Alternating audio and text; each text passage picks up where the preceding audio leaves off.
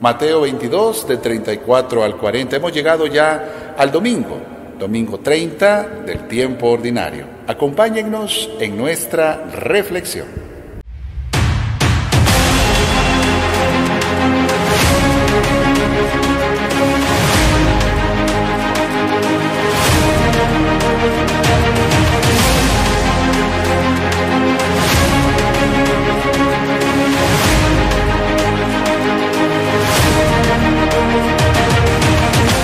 Hemos llegado ya al día domingo, día del Señor, estamos en el domingo número 30 del tiempo ordinario y vamos al texto de San Mateo. En aquel tiempo, habiéndose enterado los fariseos de que Jesús había dejado callados a los saduceos, se acercaron a él. Uno de ellos, que era doctor de la ley, le preguntó para ponerlo a prueba, Maestro, ¿cuál es el mandamiento más grande de la ley? Jesús respondió, Amarás al Señor tu Dios con todo tu corazón, con toda tu alma y con toda tu mente. Este es el más grande y el primero de los mandamientos. Y el segundo es semejante a este.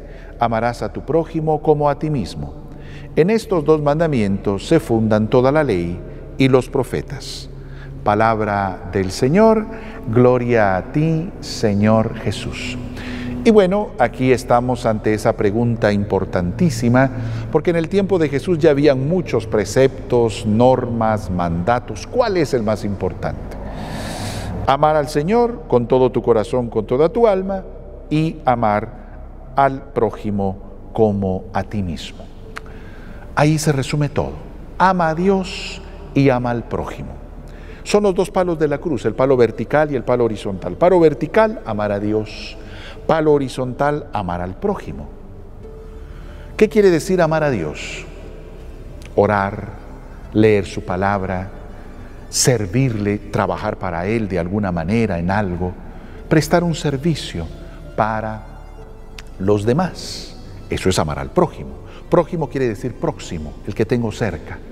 Sí, empieza en la casa, empieza en la familia, empieza con la gente que comparto día a día amar al prójimo, al próximo, al más cercano.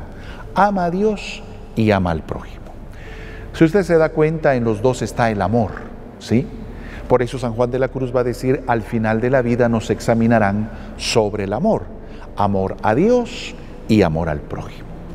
Pero el amor son cosas concretas. Hoy, ante la situación de la pandemia y de la miseria que ha crecido en nuestra sociedad, debemos de ser capaces de detenernos y ser solidarios y cercanos con los más necesitados. Vivir ese mandamiento del amor, pero con cosas muy concretas y puntuales con aquellos que más le necesitan, con aquellos que más sufren. Seamos capaces de vivir en esa realidad de amor sirviendo a los más necesitados.